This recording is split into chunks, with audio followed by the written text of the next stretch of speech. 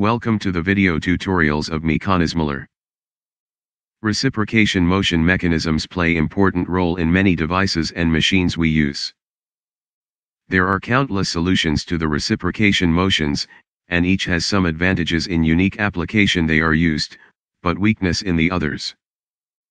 Here is an ingenious reciprocation mechanism which allows smooth transition of motion from one direction to the other.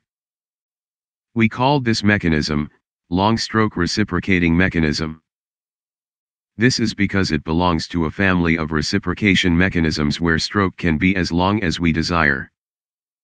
This is unique characteristic of this family of mechanisms, even though they are not simple mechanisms to build. As you can see, we have two similar yellow internal and red external gears. Here the red gears are the usual gears we know. However, the yellow gears build in such a way that there are two half-circled sections joined by horizontal racks. One of the red external gears connected to a motor and it is the driver gear.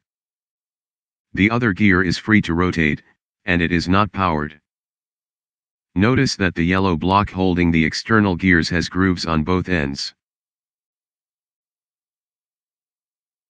The reciprocating shaft has two cams sliding in these grooves when yellow block is moving up and down, during the reciprocation motions. Also, a shaft passing through the yellow block joins these two sliding cams.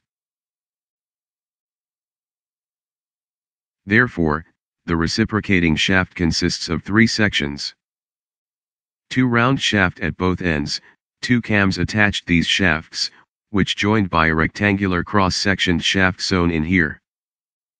Two black pins shown in here alternately enter a groove located at the middle of the yellow gear block.